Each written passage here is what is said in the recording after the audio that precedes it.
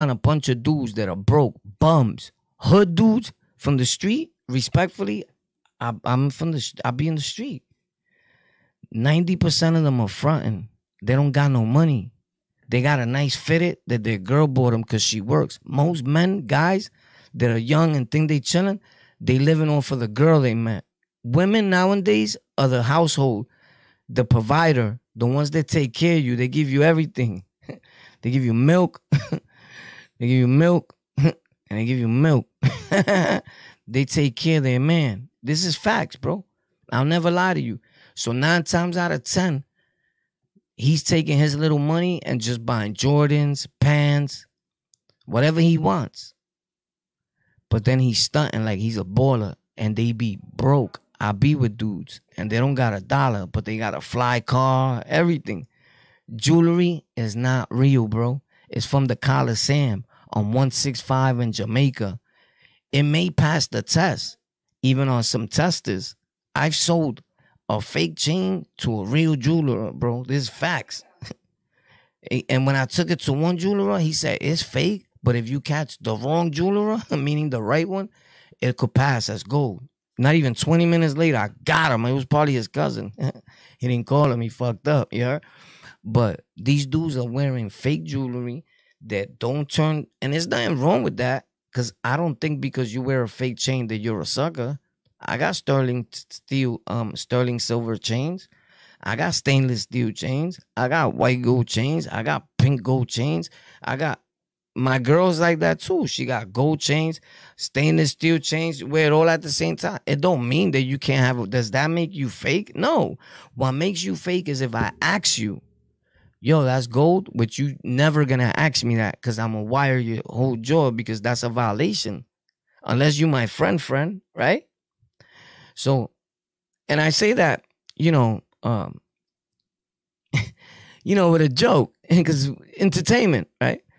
Uh, something I would never do today. But uh, that don't make you fake. When somebody asks you how much you pay for that chain, and you be like, "Oh, I paid twenty racks for this," you a liar, bro. You looking at me in my face and lying. That makes you fake. Because if you want to talk about a dude being fake because of the chain that he's wearing, then you gotta mention the whole club is wearing fake chains. Your favorite rapper wears fake chains. Bro, people don't get it. 50 Cent explained that his rap career the chains were fake with an explanation and nobody said nothing. The, in fact, y'all so whack, not you personally, but his his people that love him, that they accepted it and they said, "Oh my God, 50's a genius." yeah, and you're an idiot. For all these years thinking that the G Unit spin chain was real, you out there selling crack, trying to be like G Unit, and they were wearing fake jewelry, my dude. Cause 50 gave all of them fake jewelry and then explained it with the notion of yeah, you know how you get you get the fake one, the duplicate for the write off, the tax write off in case somebody rob it, you still get reimbursed for.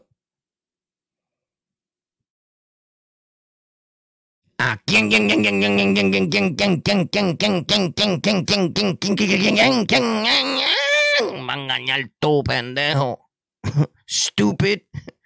He played y'all with that. That's why the Kings jumped him and jumped Jim Jones. Facts, lumped them both up. Get out of here. Cause they they dumb. You that but the reason why he had to cover that up is because Banks was blow um um Buck was blowing it up. Nigga, you gave me a fake chain. And now he explained it. And people were like, oh my God, 50. You did that? That's ingenious. You're an idiot, bro. He's ingenious. You're a moron. he had his whole team rocking fake chains, and you talking about you're ingenious. Yeah, he's so ingenious that people died in New York, shot, killed, sold crack, heroin, burned buildings, bashed cars, stole cars, killed innocent people because they were trying to get a G unit chain. And you're like, you're a genius. Yeah. Meanwhile, you was probably one of the people admiring to have that chain and trying to sell more bundles. Like that's crazy, bro. This dude just copped to like giving his whole crew fake chains, and everybody's like, "Oh my god, you're so smart. Why couldn't I think of something like that?" Mommy, I got you this week. I'm gonna buy you the chain that you wanted. I'm gonna ask 50 where they sell those plastic G unit spinner chains. G G G G G unit. Definitely wasn't. I'm taking your fame. Ask me why G unit of G stand for gay. I'm in the Brooklyn like I'm bashing off hole in your face. You acting like you gangster boy, erase you in the place. I'm in the building and I just won't stop. Wherever I go, better give me my props. When you see me, don't say G Unit, cause 50 Cent know that I'm his pops. Only reason he mad.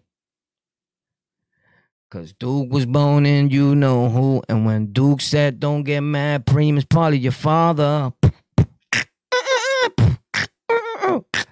You got money now. It's time to bomb. You haven't bombed one nigga that did anything to you. You ain't never come back to Jamaica Queens. They ain't even heard of you. New generation only know you for power, but not the power you have, the power that went sour for you paying your employees less than minimum wage. Yeah, you getting money, but they ain't getting paid. your racks is going up, your stacks are getting bigger. That's why when I see you, the smack is gonna be bigger. yeah, let's get it. We dropping bombs tonight. It's explosive, baby. Also, I wanted to say Math Hoffa. I respect him. You know why I respect him? He went on this kid's show and the kid has only 6,000 subscribers, which is huge. If you have 6,000 subscribers, don't ever look at yourself like you're a small channel. Subscribers are overrated, with all respects right? I know guys that have 20 subs and get 10 million views on a channel. As a matter of fact, let me show you this, Coco Smitty, right? This is a prime example of a of another oh man, I can't show you because it's open here. Fuck. Oh, but I can send it to this. All right, hold on. So look, I always do this. I'm gonna show you the channel that I just opened. There's a prime example. If if you say if YouTube too saturated, right?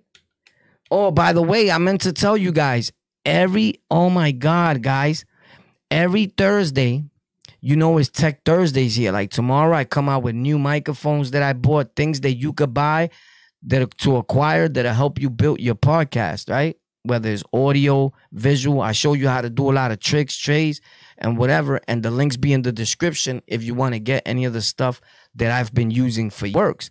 And then I show you a bang for your buck. I show you the real good stuff that people think is good because it costs more. Then I give you an alternative link in the description, which is like, let's say if I'm showing this microphone. Now, this microphone, after all said and done, taxes and everything, is gonna run you a hundred and seven dollars, no less. Facts. And if they give it to you for less than a hundred, boy, you better question it. It's bootlegged. Facts. It's from 28th Street.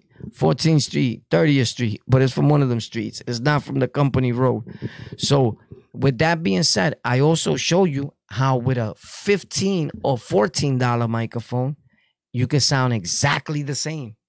The only thing the look is different, but that other microphone is good too.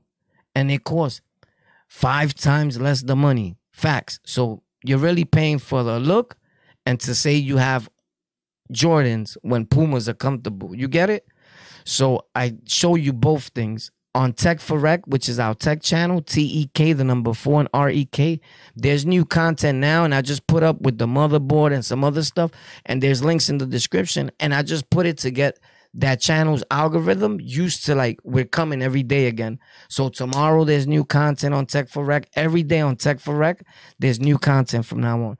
And here on Tech Thursdays, we still doing it, right? 3 p.m. and 8:15 um, our video in the morning probably here too on tech. So it'd be three things. But what we're gonna start doing is one-on-one classes. You know, I got the join membership. I've been had that for years. It's there, the join button. So if you pay for the 399, I think it is, I've been had that. I got a lot of members in there, pretty much. Pretty cool, right? A group of people that are my real supporters. I'm gonna start going in there at least two to three times a week. Probably two for now. And give y'all informative tech and how to grow your own podcast, your own show, and show you stuff. It's not just gonna be reckless techlicks.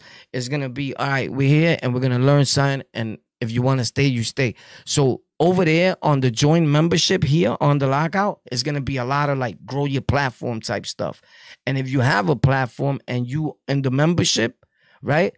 I'm gonna advertise your platform on my platforms, on my audio, iHeartRadio, Spotify, iTunes, Pandora, uh, Google Podcast, Amazon Podcast, Amazon Music, Audible, Stitcher, Overcast, Castbox FM, Player FM, all those uh, hundreds of platforms that we on.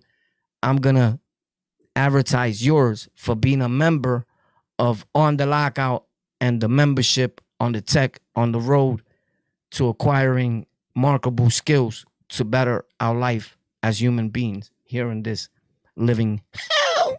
So